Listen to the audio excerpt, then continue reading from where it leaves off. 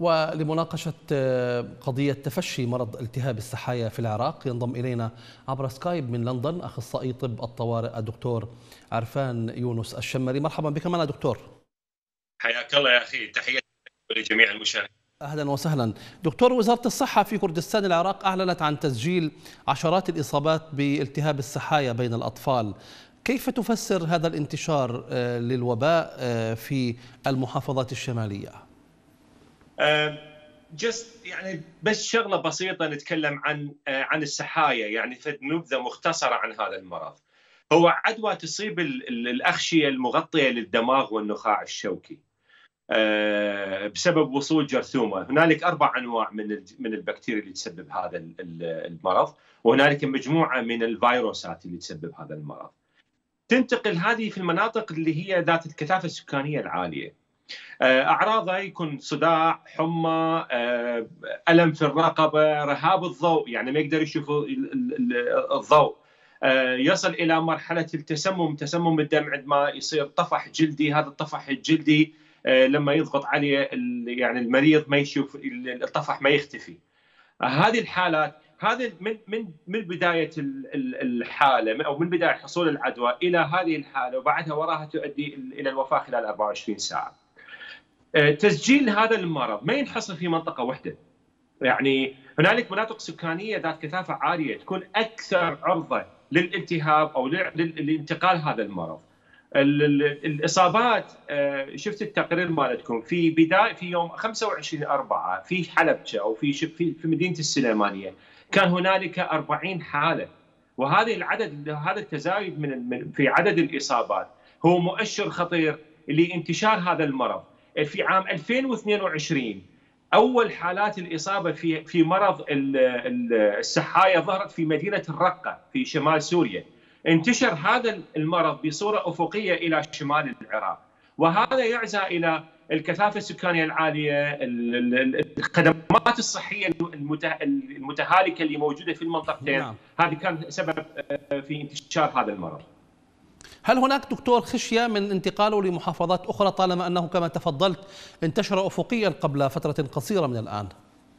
هنالك مخاوف حقيقية من انتشاره إلى محافظات العراق بجميعها. لأنه هنالك لأن قلت لك هذا مرض ينتقل عن طريق الرذاذ يعني الرذاذ التنفسي. يعني إذا إذا مثلا عندنا مكان مغلق وهذا المكان به مثلا واحد مصاب هنالك احتمالية أنه يطلع من هذا المكان 50% من عندهم ينصابون في هذا المرض فالانتشار ممكن أن يحصل بصورة سريعة إذا لم تتخذ الإجراءات اللازمة للحد من عنده. هل يمكن أن يتسبب المصاب بالعدوى بانتقالها للآخرين دون ظهور أعراض عليه؟ ممكن أن تنتقل إلى الآخرين دون حدوث أي أعراض لكن يوصل إلى مرحلة تبدي الأعراض واصلة إلى مرحلة متقدمة فيوصل يصل المريض. إحنا نشوف هاي أخي العزيز هاي هاي الأمراض نشوفها هنا في بريطانيا. يعني مثلا هذا السحايا نشوفها في بريطانيا لكنه كم عدد الحالات اللي نشوفها مثلا في قسم الطوارئ في المستشفيات اللي أنا أداوم بها يمكن بالشهر نشوف لنا حالة واحدة أو بالشهرين نشوف لنا حالة واحدة. آه لما يكون المريض مثلا يعني ما بين فئات عمرية مختلفة من الأطفال إلى الشباب إلى إلى إلى كبار السن. لكنه يصل يوصل المرض إلى إلى إلى مستواه العالي عندما يصل عدد البكتيريا التي المسببه لهذا المرض. بدأت تنقسم وتتكاثر داخل الجهاز داخل داخل الدم وسببت حالات التسمم التي هي بالتاثير بتأثيرها تؤدي إلى الوفاة.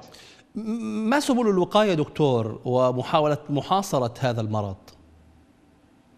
عفوا سؤال سألتكم عن سبل الوقاية من الإصابة به والطرق أو الوسائل لمحاصرته من وزارة الصحة ومن الجهات المعنية ومن حتى الأهالي. السبب في انتشار هذا المرض هو عدم حدوث عدم وجود وعي كامل عند المواطن يعني الحد من انتشاره. منظمة الصحة العالمية في في آخر تقرير لها قالت إنه إحنا نريد نخلي العالم خلال 2030 خالي من هذا المرض من السحايا لأنه يسبب إعاقات ويسبب وفيات كثيرة فحاولوا إنه إنه يحاولون يحاولون أن يحدون من عنده. الحد من انتشار هذا المرض هي أربع خطوات، الخطوة الأولى اللقاح، توفير اللقاحات هذا رقم واحد. رقم اثنين اللقاحات ثلاث أنواع. رقم اثنين التشخيص السريع للمرض. يعني الاعتماد على على الحالة إحنا نعتمد في التشخيص على المرض على هذا المرض نعتمد على شغلتين، الشغلة الأولى الأعراض اللي يدخل يدخل بها المريض، والشغلة الثانية هي الفحوصات المخبرية، إذا إذا إذا ثبت الشغلتين بأنه معناها هذا المريض هو عنده السحايا، سو التحقيق من من من هذا المرض بشكل بشكل سريع هذا مهم. الخطوة الثالثة هو بيان حالات جديدة للإرشاد والمكافحة. يعني يعني هذول اللي موجودين الآن في في مدينة السليمانية. أنا أتوقع مجموعة من ال ال الكوادر الصحية أكيد راح تنصاب. لأنه ما يعرف وراح يشوف المريض وبعدين بالتالي راح تصير هنالك انتقال العدوى من من المريض إلى إلى إلى, إلى الكوادر الصحية. وهذا راح يأثر على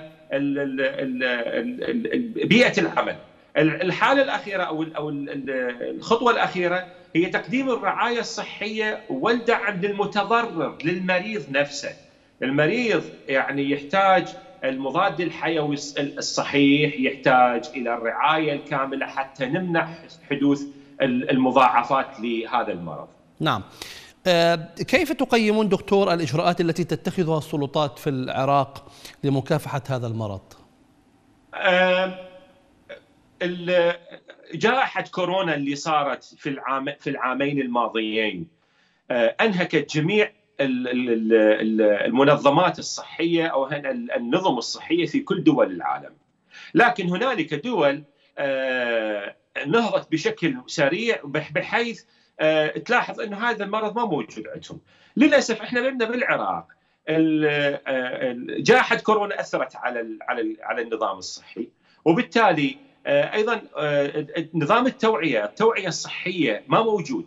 عزوف المواطنين أيضا عن عن اللقاحات، عن أخذ اللقاحات، هذا واحد من الأمور اللي اللي اللي أربكت المجتمع العراقي في هذه في هذه الفترة.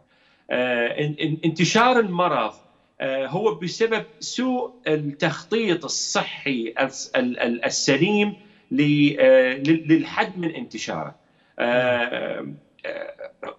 يعني المحاصصات اللي موجودة في وزارة الصحة الحقيقة لم تلتفت إلى إلى إلى هذه الأمور. هي الأمور انتشار الأوبئة.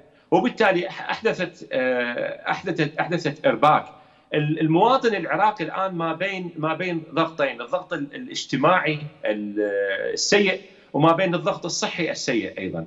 فهذه هذين الأمور الحقيقة هي إفرازات لما حصل ما بعد 2003 وانتشار هذا المرض هو مؤشر على عدم وجود ما يسمى بالخطط الصحية اللازمة للحد من انتشار هذه الأمراض بالذات في بلد مثل العراق. تحدثتم دكتور عن إمكانية انتقاله للكوادر الطبية وهذا يعني أن حتى البالغين وكبار السن يمكن أن ينتقل إليهم المرض وبالتالي انتشاره قد يكون بشكل بشكل أسرع إذا وصل للكوادر الطبية. آه الكوادر الكوادر الطبية اللي آه المسؤولة عن العلاجات أو علاجات هذه الحالات إحنا عادة ننطيهم مثلا أي مريض لما أني أشوف مريض أنا شفت مريض قبل تقريبا أسبوعين كان عنده داء السحايا. لما أنا شفت هذا المريض لازم أخذ علاج معين لل إحنا نسميها الحماية ونسميها البروفيلاكسس أنا ما أعتقد في في في في العراق الآن هذا النظام موجود إنه إذا أنت شفت هذا المريض أو شخصت هذا المريض يجب عليك أن تأخذ مضاد حيوي، هذا المضاد الحيوي يمنع انتشار المرض لك. هذا أخي ترى يعني راح يؤدي إلى إرباك العمل في في المؤسسات الصحية. نعم. زملائنا الأطباء في العراق الآن في في حاجة ماسة إلى ما يسمى طرق وقاية متكاملة ضد هذه الأمراض الانتقالية. اللي المفروض في بلد بإمكانيات العراق إذا كانت موجهة بصورة صحيحة يجب أن ينهض أو يجب أن يمنع هذه الإصابات بشكل تام. من أول ما حصل. يعني هو بدايته يعني صار في شهر في شهر ثلاثة هذه الحالات. انتشارها هذا السريع هذا مؤشر إلى مؤشر خطر. وخلينا في بالك إنه الجو الحار قادم. يعني نعم. الصيف قادم. راح تصير إصابات أكثر. فعليه يجب على الكوادر الصحية أن تتخذ الاجراءات الحيط الحيطة والحذر من أجل عدم انتشار هذا المرض لهم من أجل تقديم خدمات طبية متكافئة ومتوازنة نعم. لكافة وصلت الفكرة اخصائي اخصائي طب الطوارئ الدكتور عرفان يونس الشمري من لندن شكرا جزيلا لك.